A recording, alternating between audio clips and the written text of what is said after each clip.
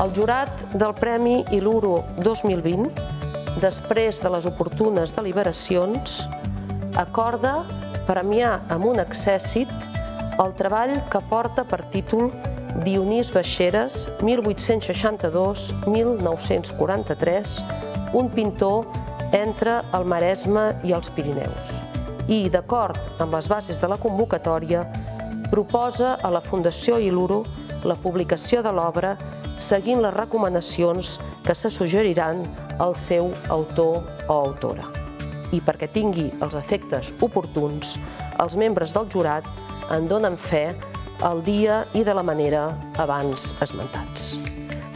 L'autor o autora, en aquest cas, de l'obra premiada amb un accèssit del Premi Iluro 2020, titulada Dionís Baixeres, 1862-1943, un pintor entre el Maresme i els Pirineus, és la senyora Esther Alzina Galofré. La que sentien i escoltaven és Roser Salicru, la doctora Roser Salicru, és la secretària del jurat del Premi Luro de Monografia Històrica, Humanitats i Ciències Socials que ahir es donava a conèixer. Un premi que arribava a la seva 62a edició amb un nou president al capdavant, un nou president al jurat, és el doctor Joaquim Nadal. El tenim amb nosaltres. Senyor doctor Nadal, molt bon dia. Molt bon dia. Uh, Premi Iluro de Monografia Històrica. Vostè s'estrenava aquest any uh, al jurat. Uh, quatre treballs presentats uh, que ha pogut llegir um, abastament i ha pogut deliberar abastament amb, amb la resta del, del jurat. Um, cap d'ells reunia la qualitat suficient per emportar-se el premi. Uh, si ho vol dir així, sí. Uh, però nosaltres vam voler girar una mica l'argument i dir que premiàvem amb un accèssit una de les obres presentades. Eh, una mica perquè el, eh, eh, en l'ambient de tots els premis, però també el l'Iluro, pesa molt la paraula desert. Uh Mhm. -huh. I més que dir l'hem declarat desert, vam dir premiem amb un accèssit aquesta obra, que està bé, que és publicable, que té elements de molt valor sobre el Maresme, i efectivament, com vostè ara em preguntava, eh, cap no reunia les condicions suficients com per, a part de ser publicada, a rebre 6.000 euros de premi, que és una dotació molt respectable en el panorama dels diferents premis de història o de ciències socials que s'atorguen últimament, no? De manera que eh, ens hi hem de pensar molt i ens hi hem de pensar bé i aquesta vegada vam creure que l'accèssit valia la pena però que no era possible premiar. Uh -huh. uh, hem conegut aquest treball, se n'havien presentat quatre, doctor Nadal, de, de treballs, aquest sobre Dionís Baixeres, un uh, artista molt ignorat, diu la, la guanyadora, diu l'Ester Alzina, ara en parlarem d'aquest uh, treball, però uh, els altres tres uh, sobre què versaven? N'hi havia un que era molt curt, molt curt, i que tenia un valor simbòlic per una cosa molt concreta sobre la vella de Mataró i Antoni Gaudí, eh, però ja et dic, no, no, no, no donava ni tan solament una extensió mínima que, que, que el fes considerable. N'hi havia un altre sobre eh, un estudi de, dels cognoms d'una família, eh, una mica seguint l'estela dels apellidos bascos i apellidos catalanes, uh -huh. situat al Maresme i anant a buscar les arrels d'una família molt, molt, molt enrere, eh? en el segle XV i anar baixant, però la veritat és que l'esforç que feia l'autora de reconstruir el seu arbre familiar eh, li faltava una mica d'ordre, una mica de metodologia. No, no, no acabaven de veure clar eh, com la gran quantitat de feina que hi havia fet d'història oral, d'entrevistar parents, amics, persones familiars, de, de veure arxius, eh, tot això fet en temps de pandèmia, tenia la gràcia que anava acompanyat d'un diari en temps de pandèmia, però no acabava de concretar eh, una, una escala interpretativa que a nosaltres ens semblés que, va, que, que valgués per ser premiada. Hi havia un altre treball que tenia una gran quantitat de documentació que el que li faltava era posar-hi ordre i una mica eh, convertir-ho en un treball d'història més que en un acumulatiu de notícies. Eh, era un treball sobre el caràcter eh, supletori de Caldetes durant la Guerra Civil uh -huh. com a seu de les ambaixades i dels consulats que hi havia a Barcelona. És a dir, el govern de la República es anava retirant, deixava València, anava a Barcelona, les ambaixades que havien estat a Madrid fins l'any 36 es van anar movent també amb el govern de la República, sobretot les que no reconeixien el règim de Franco i els rebels, i es van anar movent. I finalment eh, algunes es van instal·lar a caldetes per por dels bombardejos. I, en el fons, és la vida dels diplomàtics vivint en una bombolla fora de la ciutat en guerra i fora de les penúries de la ciutat en guerra i com a Caldetes, no sé, 15 o 20 països van muntar les seves seus diplomàtiques per estar a prop de Barcelona i a prop del govern, també del govern de la Generalitat, sense viure a Barcelona mateix. Uh mhm. -huh. Ja dic, la informació era enorme, sobretot procedent d'ambaixades i de, dels serveis diplomàtics, però li faltava una mica d'ordre i concert. Uh... I ah. finalment el, el treball que van premiar. El, el premi, el treball sobre Dionís Baixeres. Uh, aquestes pistes que donava, aquestes descripcions que donava vostè, doctor Nadal, ara, uh, poden servir de pistes, i espero que així sigui, o potser li podem donar com a ajuda als autors o autores, perquè vostè parlava de més d'una autora, cosa que em congratula molt que hi hagi dones que sí. es dediquin al, a, la, a, la, a la feina i de, de l'estudi de la història.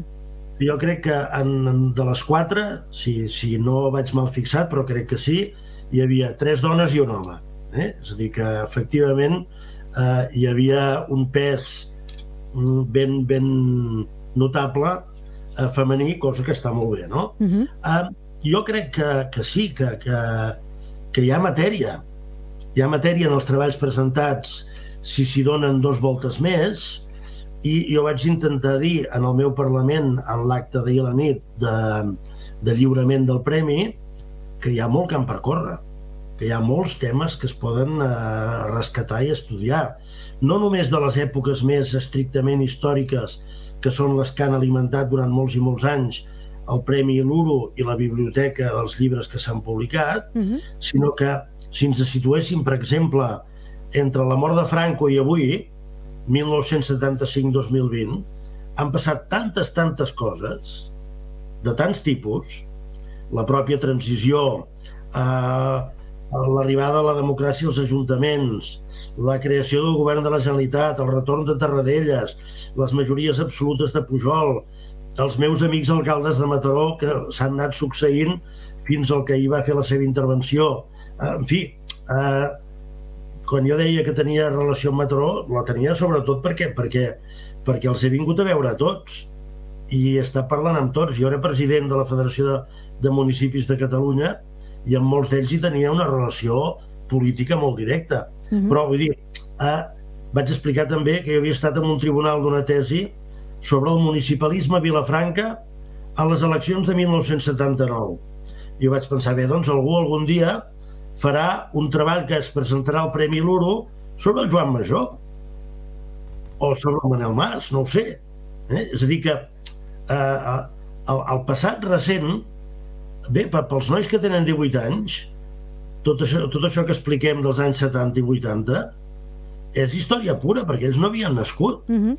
De manera que, en fi, la, la, la vida té, té un desplegament i un ritme que converteix en matèria històrica tot allò que acaba de passar ara mateix. Estem donant pistes, doctor Nadal, i això m'agrada perquè volia preguntar-li precisament per això, perquè eh, amb el que em deia primer de, dels treballs, amb les descripcions que feia dels treballs, donava pistes per on es poden millorar aquests treballs i potser en un futur tornar-los a presentar i optar a guanyar-los. I a més a més, eh, jo li volia preguntar precisament perquè eh, el Maresme, amb aquest premi que fa 62 anys que, que, que s'entrega, que s'edita, s'ha publicat moltíssim sobre la història de la comarca, la converteix en el territori, si no el que més, un dels que més estan historiografiats a tot Catalunya, cosa sí. que és una, una gran... diu molt d'aquesta comarca i de la voluntat dels historiadors per documentar-la, però tots els temes que vostè deia també eh, dona peu a entendre que queda molt per explicar del Maresme. Això és el que jo pretenc i pretenia dir i és el que m'agradaria que passés durant el temps que jo sigui president del jurat que cada any vinguin moltes més obres, que eh, haguem de deliberar més llargament que no ho vam fer aquesta vegada perquè n'haguessin d'analitzar 15 o 20 i no 4 i perquè eh, la gent es fes seu aquesta idea que efectivament hi ha molt per fer. Què ha passat? Ha passat que abans es presentaven o tesis doctorals o tesines que reconvertides es presentaven al Premi Luro, ara les tesines han desaparegut i o hi ha treballs de final de grau o treballs de final de màster. N'hi ha molts menys i eh, això fa que les possibilitats de gent que es presenti també han disminuït. Ara, eh, hi ha molta gent que segueix treballant. Hi ha molta gent en el camp del periodisme, eh, com vosaltres mateixos, o en el camp de les ciències socials, de la geografia, de la sociologia, de la politologia, que poden analitzar coses que es vinculin amb el Maresme o amb Mataró, o amb altres poblacions de la comarca, que són ben importants, i que eh, les presentin en el premi. I per nosaltres no hi ha fronteres, com no n'hi ha tampoc per voluntat del, del patronat de la Fundació de que obres que toquin només tangencialment al Maresme, però que, que en parlin i que siguin d'abast més general, també es poden presentar i també es poden premiar. És a dir, el, el, el llibre sobre el Dionís Baixeres, eh, la gent hi trobarà Maresme, però hi trobarà Pirineu, hi trobarà Barcelona, i hi trobarà moltes coses que, que donen una dimensió que supera l'àmbit estricte del Maresme i de Mataró. Jo crec que això és bo. I, en fi, em sembla que, que jo parlava, per exemple, de l'agricultura i dels canvis en l'agricultura.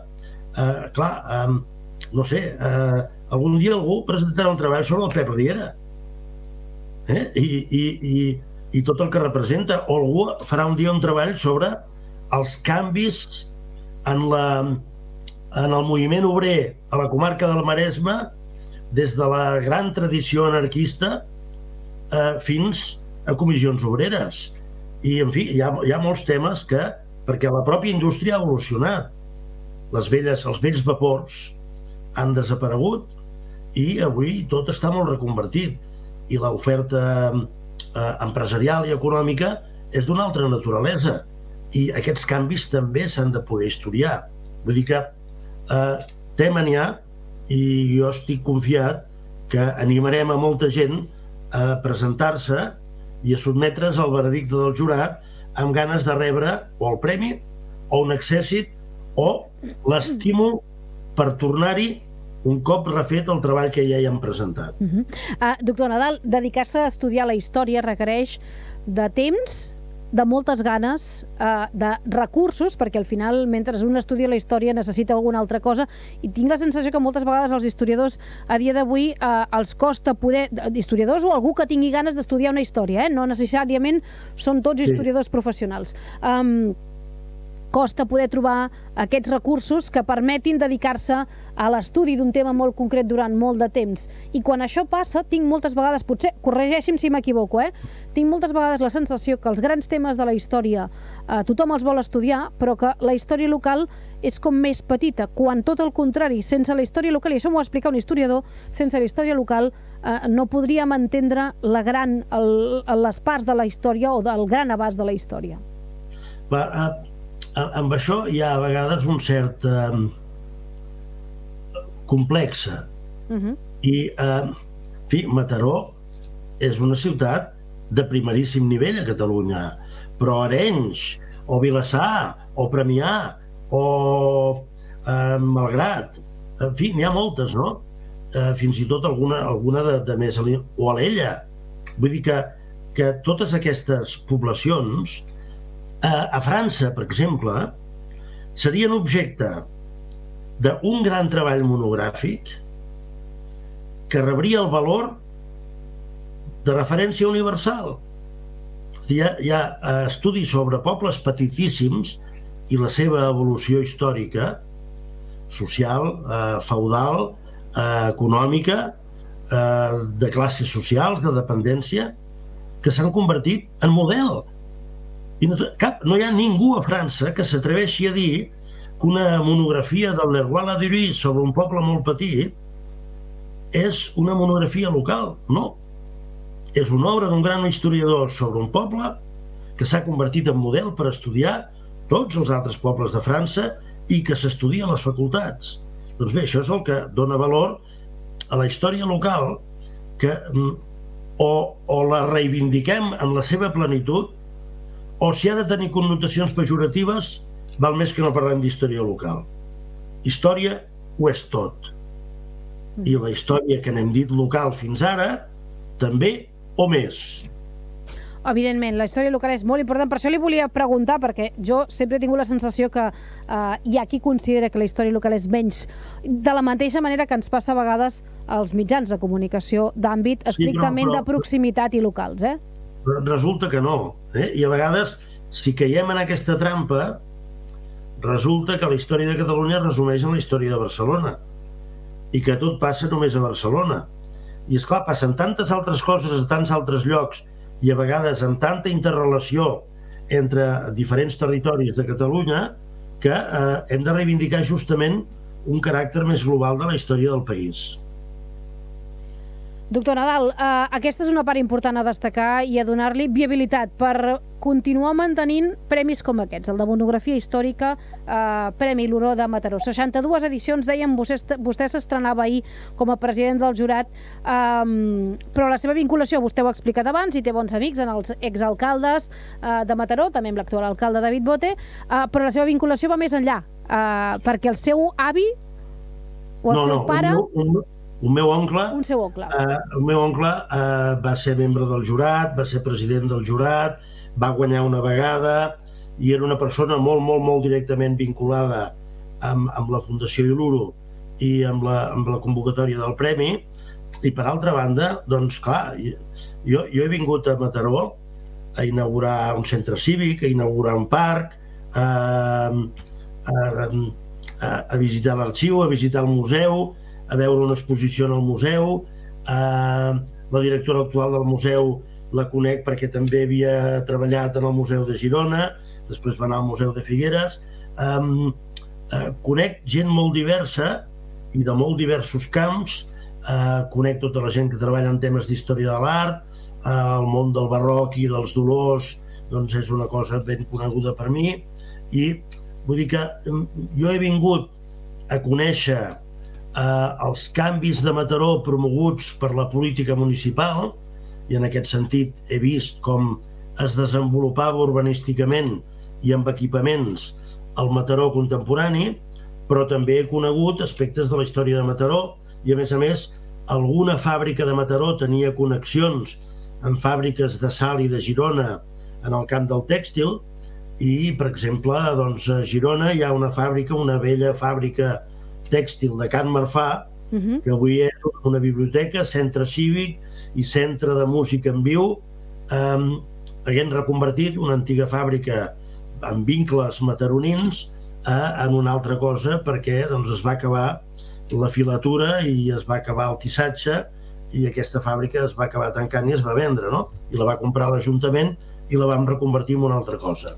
Però vull dir que eh, a Salt i a Girona moltes de les fàbriques tèxtils que hi van, que hi van arrelar tenien vincles amb capital del Maresme i amb fàbriques a tots dos llocs. Uh mhm. -huh. Passa també amb la Grover i Grovelàstic, que ara només és a, a, al Maresme, però que evidentment va tenir un arrelament a Girona molt, molt, molt important i que va ser la fàbrica més important que havia existit mai a Girona, amb més de mil i pico de treballadors, la majoria dones que aquest és un detall interessant de, de la història obrera de la ciutat de Girona en aquell moment. Doncs a part important aquesta també, doctor Nadal, m'agradaria poder seguir conversant amb vostè. El convido que vingui quan sigui possible aquí a l'estudi i seguim conversant d'història i també eh, per aquesta vinculació que ens explicava amb Mataró.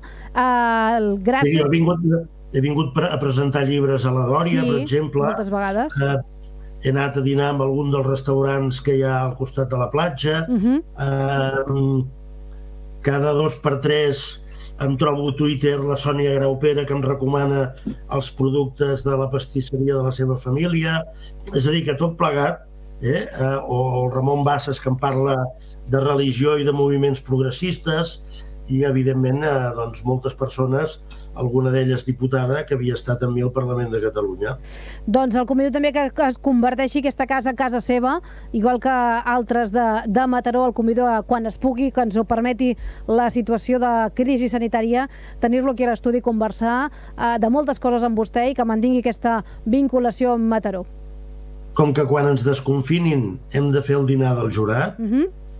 Vindrem a Mataró segur. Perfecte, doncs aquí l'espero. Gràcies, gràcies, doctor Nadal, per ser avui amb nosaltres. Molt bon dia. Molt bon dia.